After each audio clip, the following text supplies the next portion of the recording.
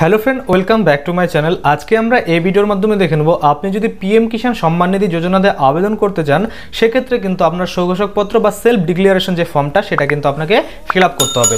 তো আপনি কিন্তু চাইলে এই ফর্মটা আপনার এগ্রিকালচার ডিপার্টমেন্ট থেকে আপনি কি এটা কালেক্ট করতে পারেন বা আপনি যে সাইবার ক্যাপে অনলাইনে আবেদন করবেন, সেখান থেকেও কিন্তু আপনাকে দিয়ে দিবে।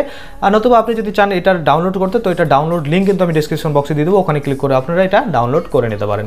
তো আমি আপনাদের বলে রাখি, প্রথমত যে অ্যাপ্লিকেন্ট হবে, তার নামটা এখানে লিখে দিতে হবে এবং তার পিতার নাম বা যদি মহিলা হয়ে থাকে তাহলে স্বামীর নামটা এখানে লিখে দিতে হবে। তারপরে কিন্তু এখানে দেখুন এক দুই তিন চার করে কিন্তু সাতটা ডিক্লারেশন আছে যেখানে কিন্তু বলা আছে আপনার ফ্যামিলিতে দশ হাজার টাকার মাসিক ইনকামের বেশি নয়। তারপরে আপনি গত বছর কোনো রকম আয় দেননি। তারপরে আপনার ফ্যামিলির কেউ ডাক্তার বা ইঞ্জিনিয়ারিং বা আইনজীবীর সাথে কোনো রকম যুক্ত নয়। তারপরে কেন্দ্রীয় সরকার বা রাজ্য সরকারের কোনো অধীনে আপনি মন্ত্রী বা কোনো প্রাক্তন মন্ত্রী এরকম কোনো কিছু ছিলেন না বা এখন নেই।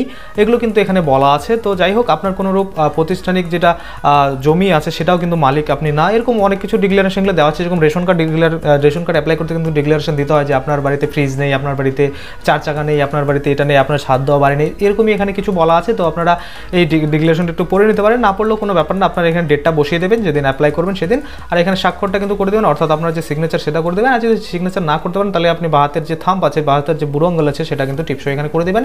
সাথে এখানে আপনার নামটা লিখে দিবেন ফুল নেম আর এখানে কিন্তু ঠিকানাটা ফুল ঠিকানা দিয়ে দেবেন, আর সাথে মোবাইল নাম্বার আর মোবাইল নাম্বারটা অবশ্যই কিন্তু সক্রিয় মোবাইল নাম্বার দিবেন, যেটা সবসময় চালু থাকে, কারণ এটা কিন্তু মেসেজ পাঠানো হয়। অর্থাৎ যদি আপনার টাকা ঢোকে, তখন মেসেজ পাঠানো হয়। আপনারটা যদি অ্যাপ্রুভ হয়, তখন মেসেজ পাঠানো হয়। অর্থাৎ মেসেজের মাধ্যমে কিন্তু আপনি অ্যালার্ট পেয়ে যাবেন, জেনে যাবেন সব কিছু তাই সেক্ষেত্রে কিন্তু আপনাকে মোবাইল নাম্বারটা অ্যাক্টিভ দিতে হবে। আর আমি বলে রাখি, আপনি যদি পিএম কিষাণ সম্মানিতিতে এখনও অনলাইন আবেদনটা না করে থাকেন, তাহলে সেটার ভিডিও কিন্তু ডিসক্রিপশন বক্সে পেয়ে যাবেন। সেখানে ক্লিক করে আপনি কিন্তু আবেদনটা করে নিতে পারেন, যে কীভাবে আপনাকে করতে হবে। আরেকটা কথা বলে রাখি, আপনি যদি পশ্চিমবঙ্গ সরকারের যেটা কৃষক বন্ধু প্রকল্প আছে, সেটা যদি আপনি আবেদন না করেন সেটাতে কীভাবে আবেদন করতে পারেন সেটারও কিন্তু ভিডিওর লিঙ্ক আমি ডিসক্রিপশন বক্সে দিয়ে দেবো। আপনি ওখানে ক্লিক করে সেই ভিডিওগুলো কিন্তু দেখতে পারেন। তাহলে কী হবে?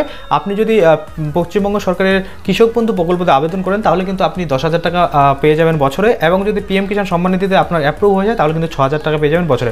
অর্থাৎ আপনার দুটাই যদি অ্যাপ্রুভ হয়ে যায়, তাহলে বছরে কিন্তু আপনি ষোলো হাজার টাকা পেয়ে যাবেন প্রত্যেক বছর, আপনার সরাসরি আপনার ব্যাঙ্ক অ্যাকাউন্টে